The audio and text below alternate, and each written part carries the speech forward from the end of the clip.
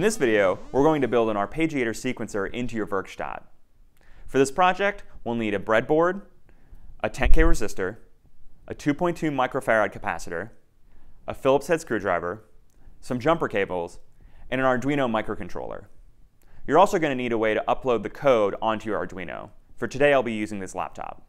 First, take a Phillips head screwdriver and remove the top four screws on the Werkstatt.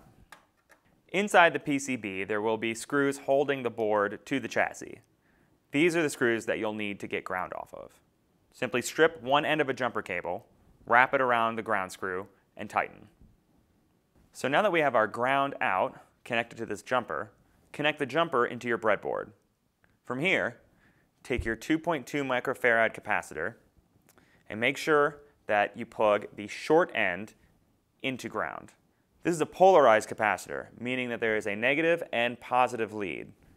The negative lead is delineated by the shorter side of the capacitor.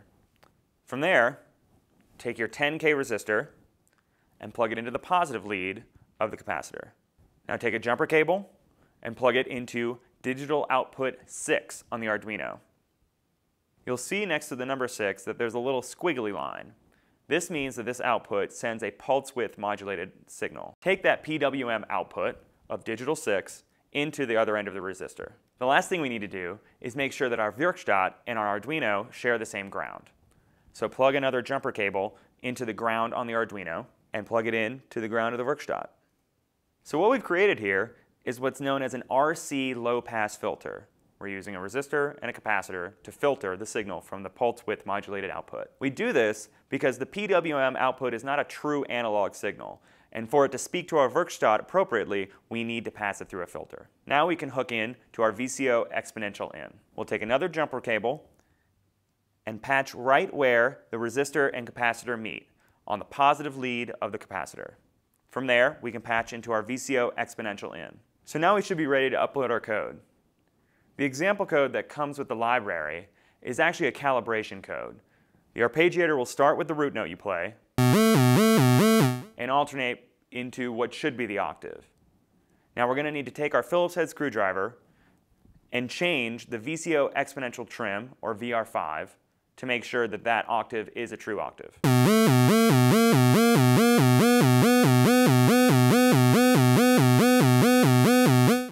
So now you can hear we're getting a true octave out of our code. Now that we have the VCO exponential in calibrated to work with our Arduino, we can go into the code and change the interval values to program our arpeggiator. So initially, the arpeggiator code came programmed with the tonic or root note to the octave. I'm going to reprogram the arpeggiator to play a minor chord, ascending and then descending. So we have the tonic, we'll add in a minor third, a fifth, our octave, back down to the fifth, and end on the minor third. Now, in the code, we can actually decide how fast we want this arpeggiator to play through. This is decided in the note value section. Here you can see I'm assigning variable E, or eighth note, to each of the arpeggiator nodes. Then at the bottom, when we call the arpeggiator play function, we can set the BPM, or beats per minute. Here I'll change it from the exercise 140 to a 110.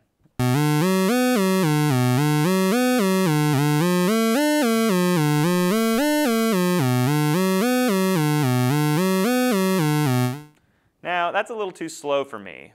So I'm going to change from eighth notes to 16th notes by using the variable sx. You'll want to make sure that you have the same number of variables in the note value array as you do in your note array.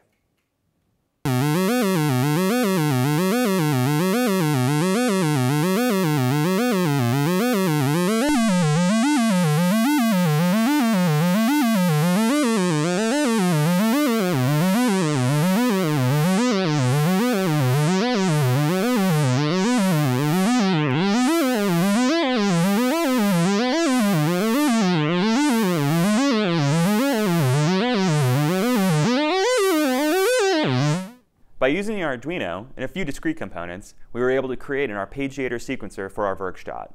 We encourage you to experiment with the code and create new patterns for your Werkstatt. All Arduino code, parts list, and Fritzing models are available online at werkstattworkshop.com.